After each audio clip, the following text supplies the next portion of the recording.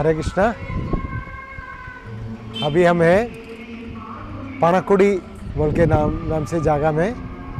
यहाँ पर देखते हैं शिव जी का मंदिर है। ये चैतन्य चरितमृत में नाइन्थ चैप्टर में 221 221 श्लोक में लिखा है ये मंदिर के बारे में।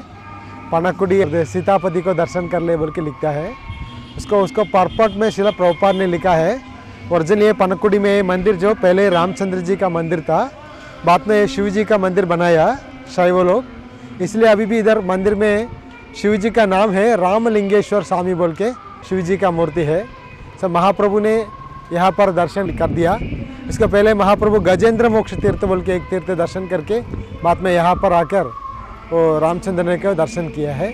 वही सेम मंदिर यही है। अभी ये शिव जी का मंदिर बनाया है। श्री गौरंग महाप्रभु की जय। ये मंदिर है तिरुनेलवेली से 50 किलोमीटर दूर में है। कन्याकुमारी से 27 दो किलोमीटर दूर में है।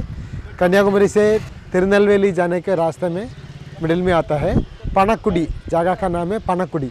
चैतन्य चरिता में पनकड़ी जब वैसे लिखा है, पनकुड़ी, यहाँ पे अभी अभी इसको पनकुड़ी बोल के नाम है।